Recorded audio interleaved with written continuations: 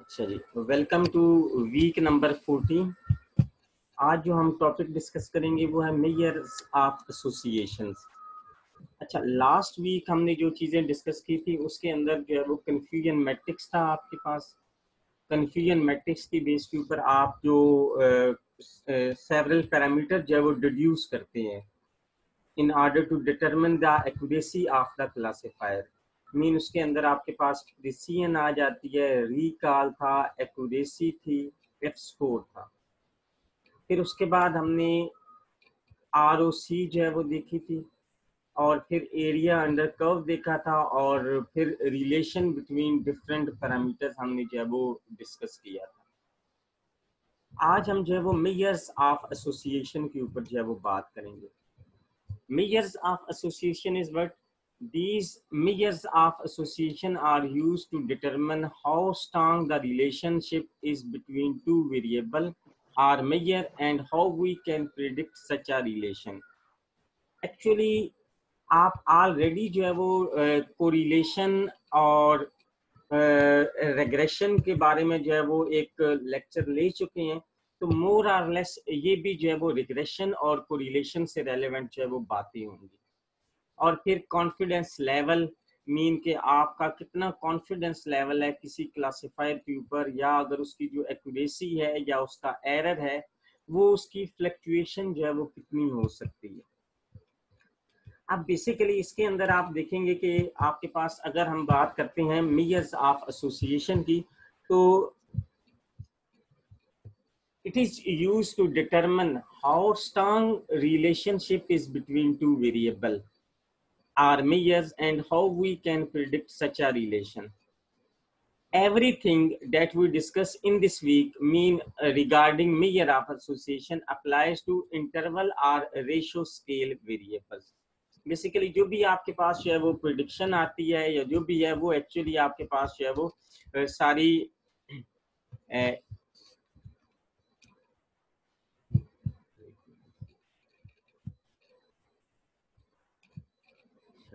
अंदर जो ना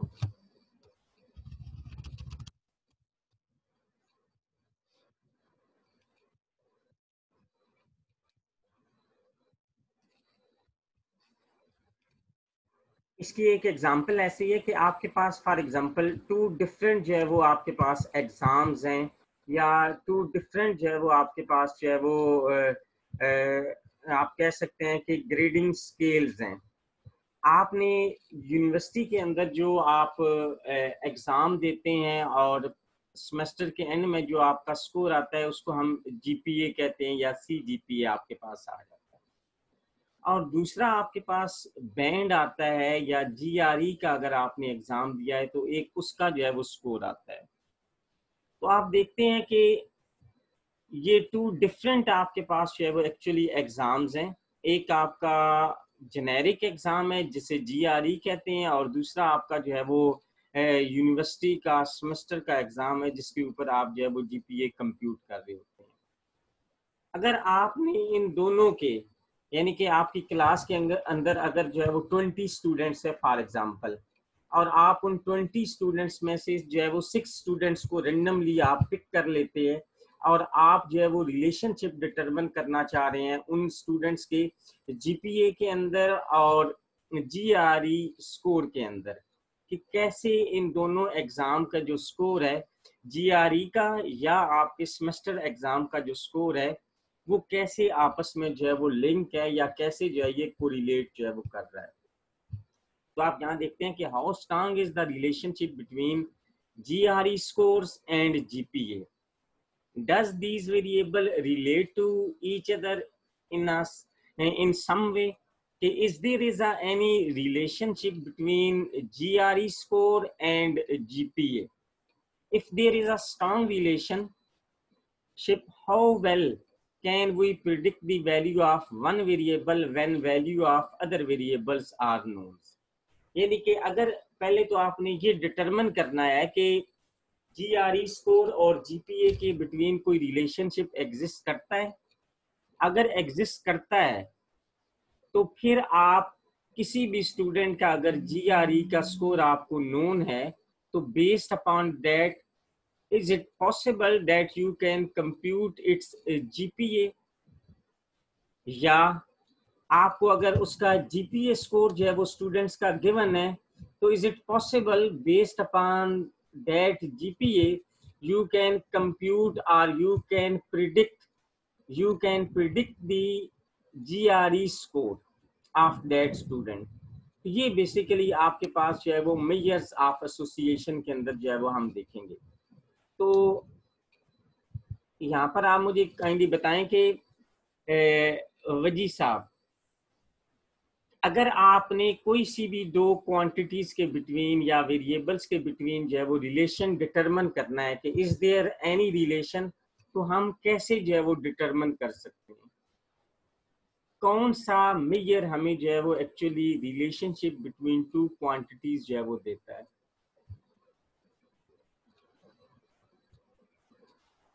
वजी साहब सुन रहे हैं आप? यस uh, सर yes, जी जी।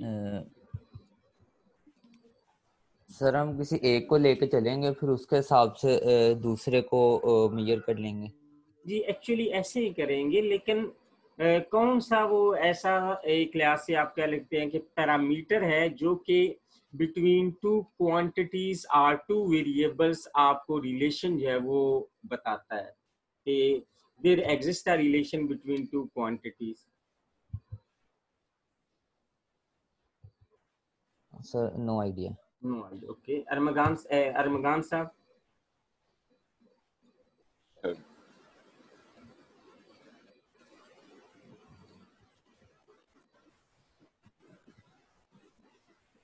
नहीं सर आइडिया नहीं अच्छा नहीं आइडिया ठीक है मास साहब आपको आइडिया है मास साहब आए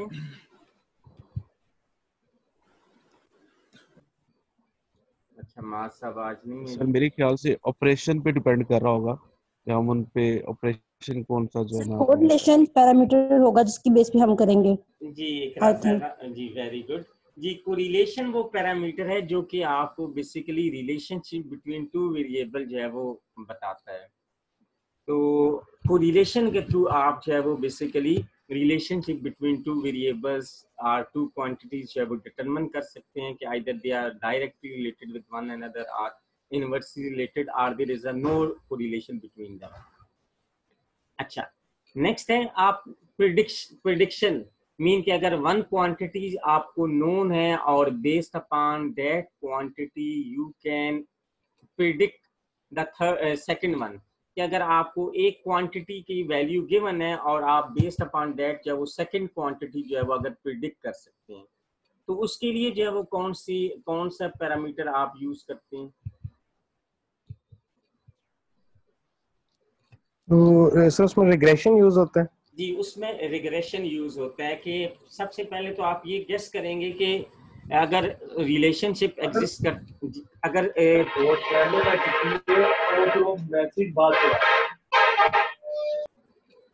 अगर रिलेशनशिप एग्जिस्ट करता है तो फिर उसके बाद आ जाती है बात कि अगर एक क्वांटिटी नोन है तो बेस्ड अपॉन डेट आप सेकंड क्वांटिटी को जो है वो प्रिडिक्ट कर दें। तो वो एक्चुअली आपके पास रिग्रेशन जो है वो आ जाता है।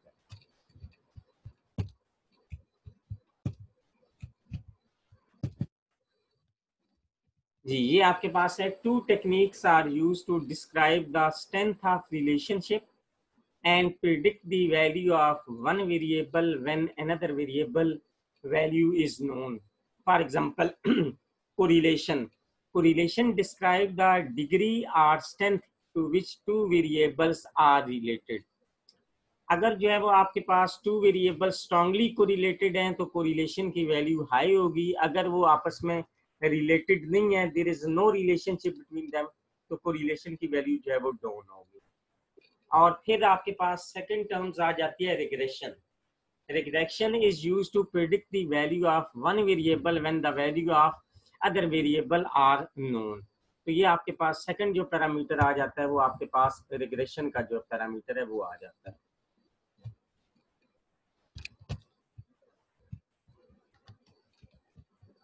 जी इसमें किसी को कोई कंफ्यूजन है तो काइंडली आप पूछ सकते हैं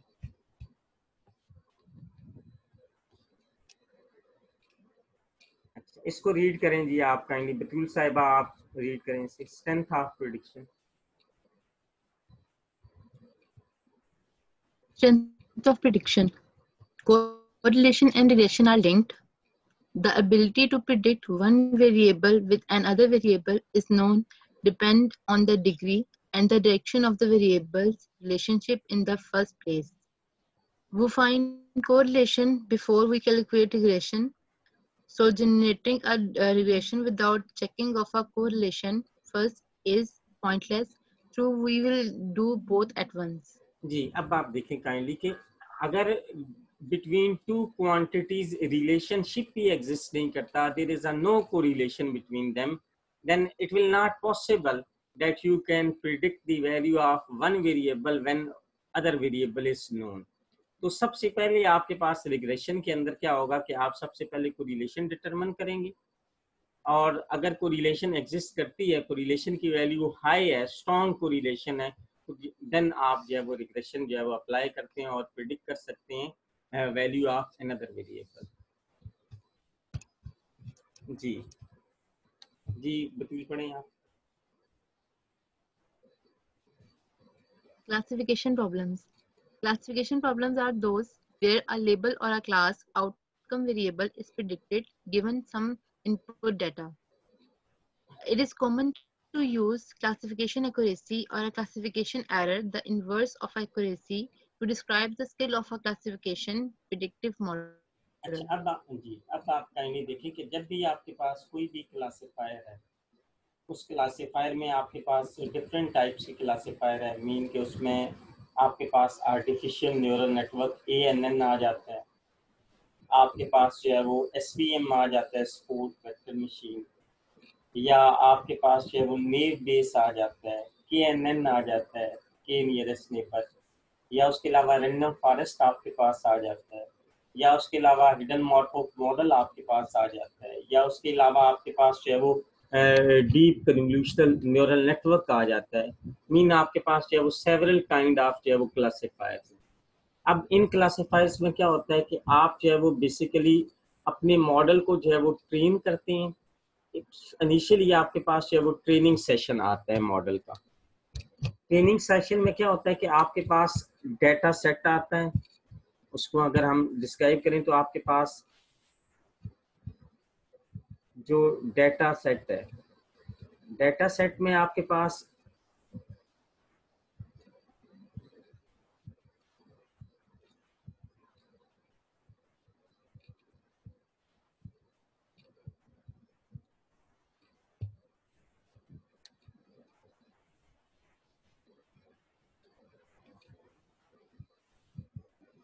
फॉर एग्ज़ाम्पल आपको यहाँ पर ये फीचर दिए हुए हैं।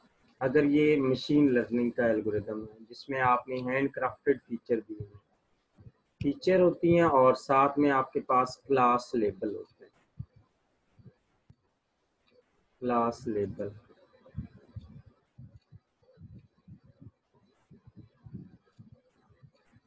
फॉर एग्जांपल हम बात कर लेते हैं फ्रूट क्लासिफिकेशन की। सिंपल जो है वो हम एक प्रॉब्लम ले लेते हैं। अब आपके पास जो हम फीचर ले सकते हैं जिनकी बेस के ऊपर हम डिफरेंट फ्रूट को क्लासिफाई कर सकते हैं। उसमें पहला फीचर आप बताएँ काइंडली कि कौन सा फीचर जो है वो हमें लेना चाहिए। सर शेप चलें हम फॉर एग्जांपल शेप एक ले लेते हैं कि शेप क्या शेप जो है वो एक एनफ डिस्टिंग्विशिंग फीचर है कि जिसकी बेस के ऊपर हम तमाम फ्रूट्स को जो है वो सेपरेट कर सकते हैं। नो सर टेस्ट जी उसके टेस्ट के पास अच्छा चलें सबसे अगर देखा जाए तो टेस्ट एक जो है वो अच्छा जो है वो फीचर है। अच्छा taste- जी वेरी गुड कलर जो है वो अगेन एक जो है वो गुड फीचर आ जाएगा आपके पास। जी कलर आ सकता है टेस्ट आ सकता है आपके पास। उसके अलावा? सर उसकी सरफेस हाँ वेरी गुड जो सरफेस है वो ए, उसके टेक्सचर टेक्सचर सरफेस है या स्मूथ सरफेस है तो हम उसका जो है वो टेक्सचर जो है वो कंप्यूट कर सकते हैं उसकी सरफेस का जो कि उसकी सरफेस के बारे में हमें जो है वो देती है आइडिया टेक्सचर आ जाता है। अच्छा। उसके अलावा हम एक चलें ये शायद इतने ज़्यादा जो है वो फ्रूटफुल ना हो लेकिन फिर भी हम कह सकते हैं कि हम सीज़न के किस सीज़न का वो फ्रूट है? जी।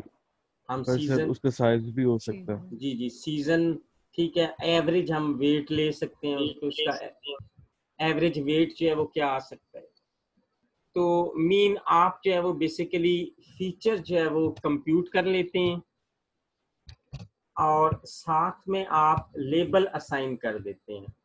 जैसा कि आपके पास, हम कह सकते हैं कि यहाँ पर आपके पास से इनिशियली हमने जो है वो सीज़न जो है वो से विंटर सीज़न है शेप राउंड है टेस्ट उसका जो है वो हम कह सकते हैं कि स्वीट है या आप उसका कोई भी जो है वो एक टेस्ट ले लें। कलर उसका आई एज्यूम जो है कि रेड कलर है टेक्सचर उसका लो है। तो आप उसको से लेबल कर देते हैं कि ये एप्पल है। फिर इसी तरीके से आप जो है वो सेकंड क्लास के कुछ यानी कि मैंगो है या उसके अलावा ऑरेंज है, आप डिफरेंट जो है वो इसी तरीके से जो है वो पूरा आपने जो है वो डेटा सेट जो है वो कंप्लीट कर लिया। अब डेटा सेट में क्या है? आपके पास जो है वो लेबल डाटा है। मीन के फीचर और उसके अगेंस्ट आपको लेबल्स के मन है। और अगर आपने सेम यही प्रॉब्लम जो है वो डीप लर्निंग के थ्रू परफॉर्म करनी है तो उसमें आपके पास जो है वो इनपुट के अंदर इमेजेस आ जाएँगे एप्पल का एप्पल के इमेजेस आ जाएँगे उसके अलावा मैंगो के डिफरेंट इमेजेस आ जाएँगे उसके अलावा जो है वो आपके पास ऑरेंज के डिफरेंट इमेजेस आ जाएँगे मीन के हर क्लास से रेलेवेंट आपके पास जो है वो डिफरेंट जो है वो इमेजेस होंगे। और हर इमेज के अगेंस्ट आपने जो है वो एक लेबल या एक क्लास है वो डिफाइन की होगी कि आपने हर क्लास के इमेजेस को एक अलग फोल्डर के अंदर आपने प्लेस किया होगा। तो ये बेसिकली आपके पास जो है वो क्लासिफिकेशन प्रॉब्लम के अंदर हमने कहा था कि where are label or class outcome variable are predicted given some input data अच्छा अब आपके पास अगर तो मशीन लर्निंग का आपने एल्गोरिदम यूज़ कर रहे हैं तो इनपुट में आपके पास फीचर्स होंगे। जो भी आपके पास है, वो इनपुट में कैंडिडेट आएगा, जिसको आपने प्रिडिक्ट करना है कि ये कौन सा फ्रूट है। तो आप क्या करेंगे? इनपुट में उसके फीचर देंगे तो आपका जो क्लासिफायर होगा, वो क्या करेगा? बेस्ड अपॉन दो फीचर वो प्रिडिक्ट करेगा कि ये जो गिवन आपने फीचर दी हैं इन फीचर की बेस के ऊपर ये कौन सा फ्रूट है? एप्पल है मैंगो है ऑरेंज है, या कोई और जो है वो फ्रूट आपके पास है? और अगर जो है वो आपके पास डीप लर्निंग का एल्गोरिदम आप यूज़ कर रहे हैं तो उसमें आपके पास इनपुट में स्नैपशॉट होगा पिक्चर होगी उस इमेज की। तो आप उसको इमेज देंगे तो आपका जो डीप कन्वल्यूशन न्यूरल नेटवर्क है, वो खुद से जो है वो फीचर एक्सट्रैक्ट करेगा और बेस्ड अपॉन दोज फीचर वो डिसाइड करेगा कि जो गिवन आपने इनपुट इमेज दिया है, ये किस क्लास से बिलोंग करता है? Either that is apple orange mango और एनीथिंग एल्स क्लियर होगी बात जी? अच्छा जब आपने अब क्लासिफायर को यहाँ पर जब आप बात कर लेते हैं कि क्लासिफिकेशन प्रॉब्लम आपने ले ली तो इसके दो फेजेज आते हैं। एक आपके पास ट्रेनिंग फेसेस ट्रेनिंग फ़ेज़ आता है और एक आपके पास जो है वो वैलिडेशन या टेस्टिंग फ़ेज़ आ जाता है आपके पास। अच्छा अब इसमें क्या है कि ट्रेनिंग फ़ेज़ के अंदर क्या करते हैं? आप नोन डाटा के ऊपर जो है वो क्लासिफायर को ट्रेन करते हैं। इसकी एग्जांपल ऐसी है, जैसे कि आप किसी भी बच्चे को ट्रेन करते हैं, उसके सामने डिफरेंट जो है वो पिक्चर्स रखते हैं और उसे बताते जाते हैं कि ये मैंगो है, ये एप्पल है, ये ऑरेंज है। या आप डिफरेंट फ्रूट्स के बारे में उसको बताते हैं। और फिर बाद में एक अननोन पिक्चर उसके सामने लाते हैं और उससे आप गेस कराते हैं कि प्रिडिक्ट करे वो स्टूडेंट या वो तो चाइल्ड के आइदर ये क्या है? बेसिकली जो है ये किससे बिलोंग जो है वो करता है। तो बेस्ड अपॉन लर्निंग या जो ट्रेनिंग जो है वो स्टूडेंट की आपने परफॉर्म किया उसकी बेस के ऊपर जो है वो फिर प्रिडिक्ट करता है स्टूडेंट जो है वो गेस करता है कि आइदर ये जो गिवन स्नैपशॉट आपने दिया है either that belong to apple that belong to mango और डेट बिलोंग टू ऑरेंज कि वो किस क्लास के साथ जो है वो बिलोंग करता है। अच्छा अब बेस्ड अपॉन दो दोज टेस्टिंग और दोज वैलिडेटिंग सैंपल्स कि आप फॉर एग्जांपल टेन फ्रूट उसको देते हैं, और उन टेन फ्रूट्स के बारे में कहते हैं कि वो स्टूडेंट जो है वो गेस करे। अब उसमें वो गेस करता है फॉर एग्ज़ाम्पल तो आउट ऑफ़ दोज टेन वो फॉर एग्ज़ाम्पल एट जो है वो कैंडिडेट या एट सैंपल को करेक्टली जो है वो क्लासिफाई करता है और रेस्ट ऑफ़ द टू को जो है वो मिस uh, क्लासीफाई करता है। तो आप कह सकते हैं कि 80 परसेंट जो है वो स्टूडेंट ने करेक्टली जो है वो क्लासीफाई किया इनपुट सैंपल्स को। तो हम कह सकते हैं कि उसकी एक्यूरेसी जो है वो 80 परसेंट है। उसके अंदर स्टिल हम कह सकते हैं कि 20 परसेंट जो है वो एरर है। तो आप फर्दर जो है उसको इम्प्रूव करने की जो है वो कोशिश करते हैं कि आप उसको फर्दर जो है वो कैसे इम्प्रूव कर सकते हैं। अच्छा फॉर एग्ज़ाम्पल अब आप इसमें देखेंगे। जी बतूल साहिबा आप काइंडली रीड करें। बतूल साहिबा। क्वेश्चन प्रॉब्लम दोबारा। जी क्लासिफिकेशन प्रॉब्लम की। Okay. It is uh, uh, classification problem are those uh, where a label or a class outcome variable is predicted given some input data it is common to use classification accuracy or a classification error the inverse of accuracy to describe the skill of a classification predictive model जी actually आप क्या कहते हैं accuracy या error basically आपको उसकी predictive skill के बारे में जो है वो इंफॉर्मेशन देती है कि how accurately that classifier can predict the sample अब आ जाती है क्लासिफिकेशन एक्यूरेसी जैसे कि मैंने अभी आपको एग्जांपल दिए कि 80 परसेंट अगर क्लासिफायर की एक्यूरेसी है तो मीन के उसके अंदर जो है वो 20 परसेंट जो है वो मार्जिन ऑफ़ एरर आ जाता है। जी इसे रीड करें classification accuracy For example, a model that makes correct predictions of a class outcomes variable 75% of the time has a classification of accuracy of a 75% as calculated, calculated as. This uh, जी अब आप अब आप जी जी अब आप देखिए कि आप इससे काफ़ी जो है वो फेमिलर हैं इस फार्मूला से कि आपके पास for example total correct prediction divided by total prediction made for example हमने लास्ट एग्ज़ाम्पल में बात की थी कि अगर आपने टेन जो है वो प्रिडिक्शन जो है वो मेड की हैं और आउट ऑफ़ टेन आपकी एट प्रिडिक्शन जो है वो अगर करेक्ट है तो आपके पास ये आ जाएगा eight divided by ten multiply by hundred तो मीन के ये जो क्लासिफायर है, उसकी एक्यूरेसी जो है वो आपके पास 80 परसेंट जो है वो एक्यूरेसी आ जाती है। तो ये आपके पास परसेंटेज जो है वो आ जाएगी that will be equal to 80 percent कि आपने आउट ऑफ़ टेन एट जो है वो सैंपल्स को करेक्टली जो है वो प्रिडिक्ट कर लिया। तो ये आपके पास total correct prediction divided by total prediction made multiply by 100 ji next This accuracy can be calculated based on a hold out data set not seen by the model during training, such as a validation or a test data set. जी अब आप Classification accuracy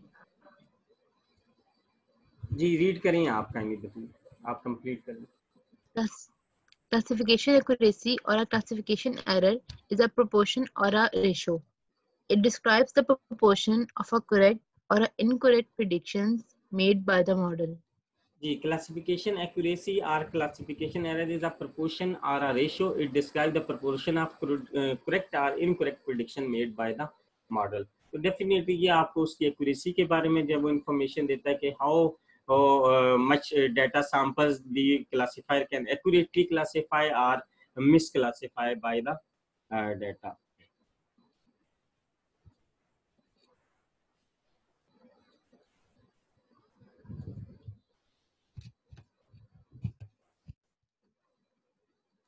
next read करें आप classification accuracy Each prediction is a binary decision that could be correct or incorrect. Technically, this is called a Bernoulli's trial, named as uh, Jacob Bernoulli.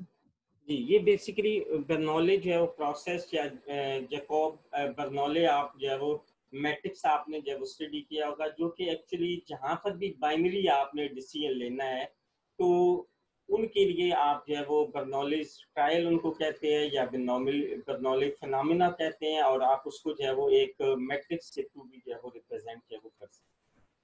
तो इसमें basically क्या होता है कि आपके पास जो है वो आ, कोई भी क्लासिफायर है जिसने जो है वो बाइनरी डिसीज़न लेना है कि आइदर करेक्ट है या इनकरेक्ट है। आप इवन दो कोई भी क्लासिफिकेशन प्रॉब्लम्स हैं आप उनके रिज़ल्ट को जो जज करते हैं तो वो एक्चुअली बाइनरी डिसीज़न ही होता है। आपके पास कि either that classifier make correct decision or not in statistics a succession of an independent event that either succeed or fail, called Bernoulli process. यानी कि जहाँ पर आपकी पॉसिबल टू ही आउटकम्स हैं, या पॉस है, या फेल है, या सक्सेस है, या फेलियर है तो उस केस को आप बर्नौले प्रोसेस के तौर पर मॉडल कर सकते हैं। और अगर आपके पास जब वो डिस्ट्रीब्यूशन का साइज़ ज़्यादा हो जाता है तो फिर वो आपके पास नॉर्मल डिस्ट्रीब्यूशन को अप्रोच को जो है वो एज अ नॉर्मल डिस्ट्रीब्यूशन जो है वो मॉडल कर सकते हैं। नॉर्मल डिस्ट्रीब्यूशन आपको पता ही है कि आपके पास फॉर एग्जांपल ये उसकी बेल शेप आ जाती है और उसका जो मी उसकी जो पीक है वो मीन वैल्यू के ऊपर होती है और बाकी आपके पास जो है वो ये उसकी वेरिएंस या स्टैंडर्ड डेविएशन जो है वो आपके पास जो है वो आ जाता है। तो ये सेंटर में आपके पास उसका मीन है सॉरी म्यू मीन आ जाएगा और बाकी ये आपके पास उसकी वेरियंस जो है वो आ जाएगा। ये इसमें कोई कंफ्यूजन है काइंडली तो आप पूछ सकते हैं। If anyone have any confusion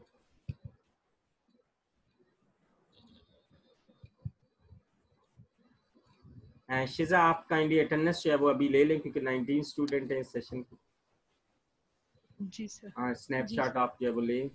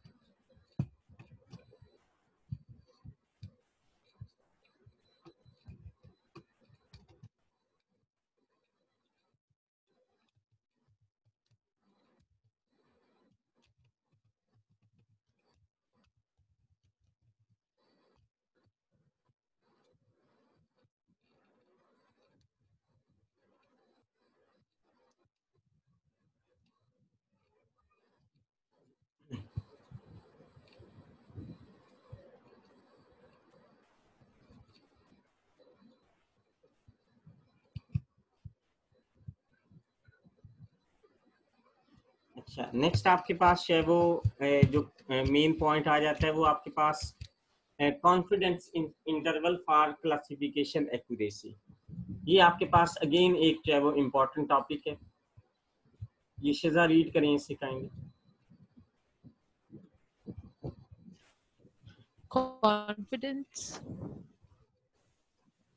confidence confidence interval for classification accuracy. The assumption of a, Gaussian distribution of the proportion, the classification accuracy or error to easily calculate the confidence interval. In the case of classification error, the radius of the interval can be calculated as interval equals to z into square root of error into 1 minus error upon n in the case of classification accuracy, the radius of the interval can be calculated as. अच्छा अब आप देखें kindly कि जब भी आपके पास है वो कोई भी क्लासिफिकेशन प्रॉब्लम है और आपके पास क्लासिफिकेशन एक्यूरेसी आती है या क्लासिफिकेशन एरर आता है तो वो आपके पास एक सेंट्रल पॉइंट आ जाता है फॉर एग्जांपल हम कहते हैं कि 98 परसेंट जो है वो एक्यूरेसी है या 90 परसेंट एक्यूरेसी है किसी भी क्लासिफायर की। तो आप उसके साथ अक्सर देखते हैं कि कोई भी जब आप इंस्ट्रूमेंट में परचेज करते हैं, आप वर्नियर कैलिपर है या माइक्रोमीटर सिक्यू गेज है या उसके अलावा कोई और डिजिटल जो है वो आपके पास ब्लड प्रेशर मेजरिंग इंस्ट्रूमेंट है या शुगर लेवल जो है वो मेजरिंग इंस्ट्रूमेंट है तो आप देखते हैं कि साथ में उसके जो है ना वो प्लस माइनस जो है वो आपको गिवन होता है। कि ये जो इसकी एक्यूरेसी है, वो फ्लक्चुएट कर सकती है। फॉर एग्जांपल प्लस माइनस हम कहते हैं कि ज़ीरो पॉइंट अलेवन तो मीन के आपके पास अगर 98 परसेंट है तो उसमें प्लस माइनस आप जो है वो पॉइंट वन वन जो है वो कर सकते हैं। मीन के इसके बिटवीन जो है वो फ्लक्चुएट जो है वो वैल्यू कर सकती है आपके पास। तो ये रेडियस है।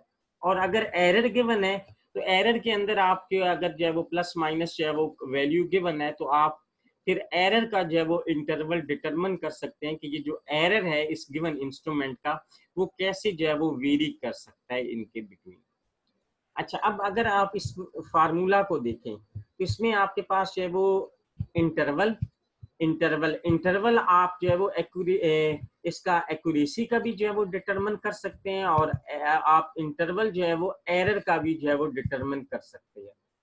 अब अगर आपके पास जो है वो इन केस हम कहते हैं कि एरर की अगर बात करें तो इसमें आप देखें तो आपको यहाँ पर error multiply by one minus error और एन यहाँ पर एक बहुत ही इंपॉर्टेंट फैक्टर है एन ये आपके पास पॉपुलेशन साइज़ आ जाता है। और जी आपके पास जो है वो बेसिकली जो है वो जी स्कोर है और जी स्कोर की वैल्यू आप जो है वो बेसिकली डिटरमिन करते हैं फ्रॉम एक्यूरेसी आर एरर तो कैसे ये डिटरमिन करते हैं? ये कंप्यूट हम कैलकुलेट भी करेंगे और ये आपको गिवन भी होती है एक टेबुलर फॉर्म के अंदर कि आपके पास अगर एक्यूरेसी गिवन है और जी की वैल्यू जो है वो क्या हो सकती है उस केस में। और अगर आप एरर की जगह यहाँ पर एक्यूरेसी का इंटरवल निकालना चाहते हैं तो ये जो नीचे वाला फार्मूला है फार्मूला नंबर टू इसमें आप देखें कि आपने एरर को एक्यूरेसी के साथ जो है वो रिप्लेस कर दिया यहाँ पर एरर की जगह एक्यूरेसी जो है वो आ जाएगा। बाकी यहाँ पर एन वही है पॉपुलेशन आपके पास और ये स्क्वेयर रूट है और ये आपके पास जी है। जी क्या है? अब इन पैरामीटर को वन बाय वन हम देख लेते हैं। अच्छा where interval is the radius of the confidence interval कि आपके पास जो भी आपको फॉर एग्जांपल एक्यूरेसी आई है या जो एरर आया है वो कितना फ्लक्चुएट करेगा। मीन उसकी मिनिमम वैल्यू क्या हो सकती है और मैक्सिमम वैल्यू जो है वो क्या हो सकती है? Error and accuracy or classification error or classification accuracy respectively N is the size of a sample अच्छा और स्क्वेयर रूट डेफिनेटली ये आपके पास फ़ंक्शन आ जाएगा. Z is the number of standard deviation from the Gaussian distribution mean के आपके पास जो मीन वैल्यू है, उससे आपके पास क्या, कितनी जो है वो डेविएशन है मीन वैल्यू से. मीन के आपको अगर एरर गिवन है या एक्यूरेसी की वैल्यू गिवन है तो आप उस मीन वैल्यू से कितना जो है वो डेविएट जो है वो कर रहे होते हैं एक्चुअली तो जो आपके पास कॉमन नंबर है जी की जो वैल्यू कॉमनली आपको गिवन है टेबुलर फॉर्म में, जैसे कि मैंने आपको ऑलरेडी बताया था को ये टेबुलर फॉर्म में आपको गिवन होती हैं कुछ वैल्यूज़ तो अगर आपके पास जो है वो यहाँ पर देखे तो अगर आपके पास एक्यूरेसी 90 परसेंट है तो जो जी की वैल्यू है, वो 1.64 है। डिटरमिन कैसे करते हैं, ये अपकमिंग लेक्चर के अंदर हम जो है वो देखेंगे, लेकिन यहाँ पर आपको जस्ट ये नंबर जो है वो गिवन है, आपने इनको जो है वो एज इट इज़ एक्सेप्ट जो है वो करना है। अगर आपके पास 90 परसेंट एक्यूरेसी एक्यूरेसी है तो उसमें जी की वैल्यू जो है वो 1.96 है। और अगर 98 परसेंट एक्यूरेसी है तो जी की वैल्यू 2.33 है। और अगर आपके पास नाइन्टी नाइन परसेंट जो है वो एक्यूरेसी है तो उस केस के अंदर आपके पास जो है वो जी की value two point five eight आपको गिवन है। तो अगर आप देखें तो अगर तो, आप जी।